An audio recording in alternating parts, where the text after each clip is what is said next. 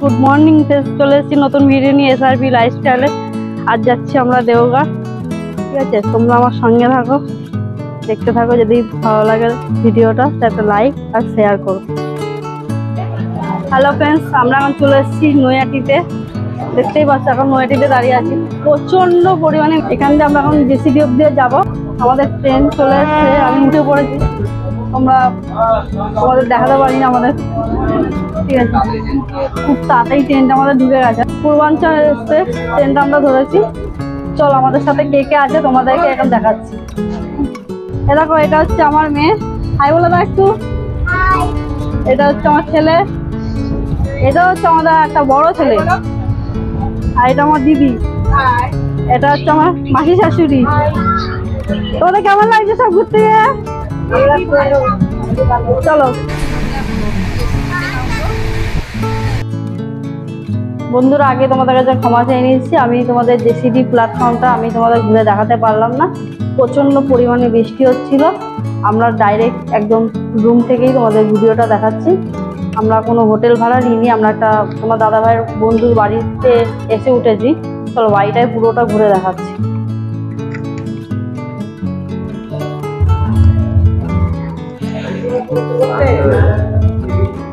এটা হচ্ছে, এই ঘরটা আর এই ঘরটা আমরা নিয়েছি।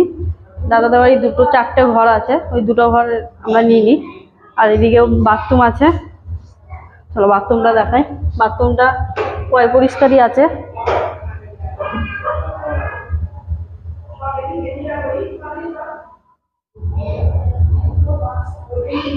দাদাভাই গাছপালা প্রচণ্ড পরিমাণে ভালোবাসে বলে। দাদা নিজের বাড়িটাকে বাইরে দৃশ্যটাকে পুরো বাগান বাড়ি তৈরি করেছে।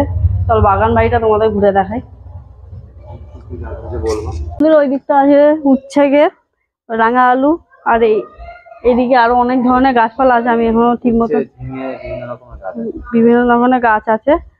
ঠিক আছে আর এদিকে ফুল ফুল গাছ আছে আর অনেক ধরনের ফুল গাছ আছে।